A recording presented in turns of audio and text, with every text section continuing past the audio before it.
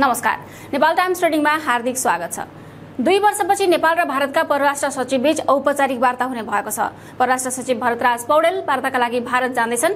नेपाल र भारतका परराष्ट्र मन्त्रालयले शुक्रबार एकैसाथ परराष्ट्र सचिवको भारत भ्रमण र दुई सचिवबीच औपचारिक वार्ताको समय तालिका सार्वजनिक गरेका हुन्।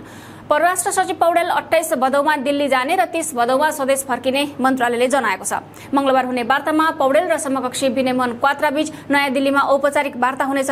परराष्ट्र सचिव पौडेल नेतृत्वको प्रतिनिधि मण्डलमा परराष्ट्र मन्त्रालयको भारत डिभिजन हेर्ने सहसचिव सुधीर भट्टराई भारतका लागि नेपाली राजदूत डाक्टर शङ्कर शर्मा र उपनियोग प्रमुख रामप्रसाद सुवेदी रहनेछन्। चिनिया पिपल्स कंग्रेसका अध्यक्ष ली झाङसु नेपाल भ्रमणमा आएको। भोलिपल्ट नेपाल भारत परराष्ट्र सचिव स्तरीय बैठक हुन लागेको छ। अध्यक्ष ली सत्ताइस भदौमा काठमाडौँ आउने कार्यक्रम छ। त्यही दिन सभामुख अग्निप्रसाद सापकोटासँग हुने द्विपक्षीय वार्तामा परराष्ट्र सचिव पौडेल पनि हुने बताइएको छ। त्यसको भोलिपल्टै उनी नेपाली प्रतिनिधि टोलीको नेतृत्व गर्दै दिल्ली जानेछन्। यसलाई चिनिया पक्षले असहज रूपमा लिएको बताइन्छ। माओवादी अध्यक्ष प्रचण्डले शुक्रबार मात्रै आर्ज देउबार आफूबीच भारतीय उपस्थितिमा दिल्लीमा सात बुधे सम्झौता भएको भन्ने कुरामा चीन समेत भ्रममा परेको बताएका थिए। दुई हजार सतहत्तरको मङ्सिर एघार र बाह्रमा भारतका तत्कालीन विदेश सचिव हर्षवर्धन श्रृङ्खला नेपालको औपचारिक भ्रमणमा आएका थिए। द्विपक्षीय वार्ता गरे यता परराष्ट्र सचिव स्तरीय वार्ता हुन सकेको छैन। पौडेल परराष्ट्र सचिव भएपछि पहिलो पटक उनको यो औपचारिक भ्रमण हो। यसअघि उनी प्रधानमन्त्री र परराष्ट्र मन्त्री नेतृत्वको प्रतिनिधि मण्डलमा सदस्यका रूपमा भारत गएका थिए। परराष्ट्र सचिव स्तरीय संयन्त्रलाई दुई मुलुकका सीमा समस्या समाधान गर्ने सहितका जिम्मेवारी दिएको छ। त्यसैले दुई वर्षको अन्तरालमा हुन लागेको वार्ताले सीमा समस्या समाधानमा पनि केही फड्को मार्ने आम अपेक्षा रहे पनि यो वार्तामा सीमा विवाद नउठ्ने संकेत मिलेको छ। भारतीय विदेश मन्त्रालयद्वारा जारी विज्ञप्ति अनुसार भेटवार्तामा पछिल्लो पटक भारतीय प्रधानमन्त्री नरेन्द्र मोदीको नेपाल भ्रमण र प्रधानमन्त्री शेरबहादुर देउवाको भारत भ्रमणमा भएका सहमति कार्यान्वयनबारे छलफल हुनेछ। विगतका सहमतिको पुनरावलोकन समेत हुने विदेश मन्त्रालयले जनाएको छ। भारतीय विदेश सचिव क्वात्राको निमन्त्रणामा जान लागेका पौडेलले भारतको राजनैतिक नेतृत्वसँग भेटवार्ता गर्ने बारे परराष्ट्रले सार्वजनिक गरेको छैन। दुई देशबीच सहकार्यका अन्य सबै विषयमा भने छलफल हुने परराष्ट्र मन्त्रालयले जनाएको छ। दुई वर्षअघि बाइस मङ्सिर दुई हजार सतहत्तरमा परराष्ट्र मन्त्री स्तरीय संयुक्त आयोगको पूर्व सन्ध्यामा परराष्ट्र सचिव स्तरीय वार्ता काठमाडौँमा भएको थियो।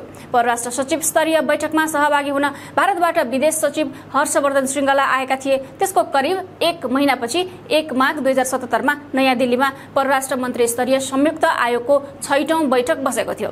तत्कालीन परराष्ट्र मन्त्री प्रदीप गेवाली र भारतीय विदेश मन्त्री डाक्टर एस जयशङ्कर बीच एक्ला एक्लै र प्रतिनिधि मण्डल बीच वार्ता भएको भएको थियो। श्रृङ्खलाले अवकाश पाएपछि विनयमोहन क्वात्रा अहिले विदेश सचिव छन्। क्वात्रा र नेपाली समकक्षी बीच पहिलो पटक दिल्लीमा औपचारिक वार्ता हुन लागेको हो।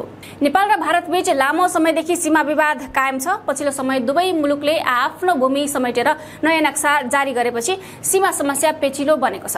प्रधानमन्त्री शेरबहादुर देउवा गत चैतमा भारत भ्रमणमा जाँदा सीमा विवादको विषयलाई पहिलो पटक उच्च राजनीतिक तहमा प्रवेश गराएका थिए। चैत्र बीसमा मोदीसँग द्विपक्षीय वार्तापछि गरिएको संयुक्त पत्रकार सम्मेलनको अन्त्यमा प्रधानमन्त्री देवालले मोदी र आफूले सीमा समस्याबारे छलफल गरेको बताएका थिए।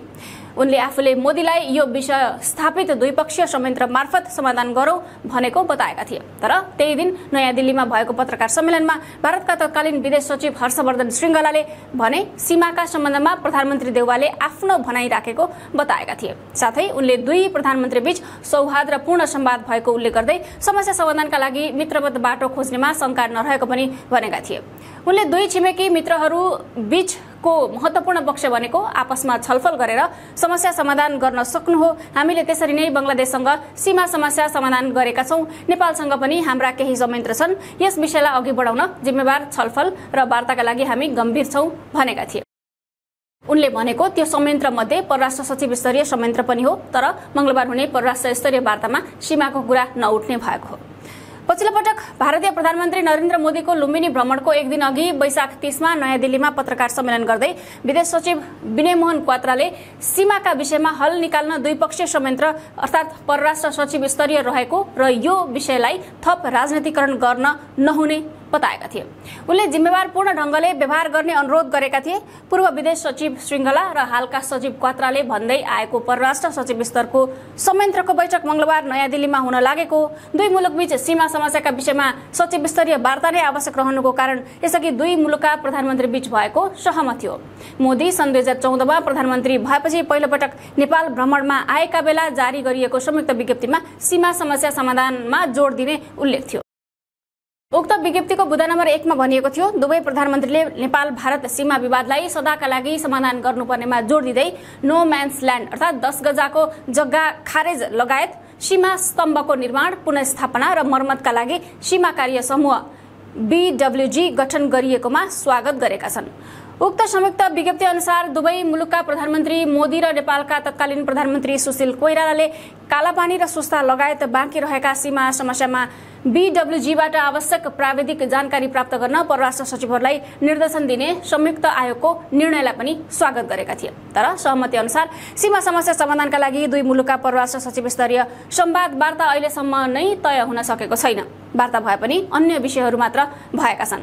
यो पटक पनि यस्तै दोहोरिने संकेत देखिएको छ। कूटनीतिक स्रोतका अनुसार परराष्ट्र सचिव स्तरीय बैठकमा दुई देशबीच सिमानाका विषयमा औपचारिकताका लागि उठे पनि विस्तृतमा छलफल हुने छैन। लिपुलेख लिम्पियाधुरा सीमाका विषयमा मात्रै केन्द्रित भएर बैठक गर्न भारत तयार नभएका कारण यसपटकको भ्रमणमा सहकार्यका क्षेत्रहरूको पुनरावलोकन हुनेछ। यसबारे तपाईँका धारणाहरू पनि अवश्य व्यक्त गर्नुहोला। ताजा खबरका लागि Nepal टाइम्सको online portal W W W dot Nepal times dot इटमा गएर हेर्न सक्नुहुनेछ। यसै गरी हाम्रो युट्युब च्यानल र फेसबुक पेज पनि अवश्य भिजिट गर्नुहोला। तपाईँले गर्नुभएको लाइक कमेन्ट सेयर र सब्सक्राइबका लागि धेरै धन्यवाद। नेपाल टाइम्स हेर्दै गर्नुहोला। नमस्कार।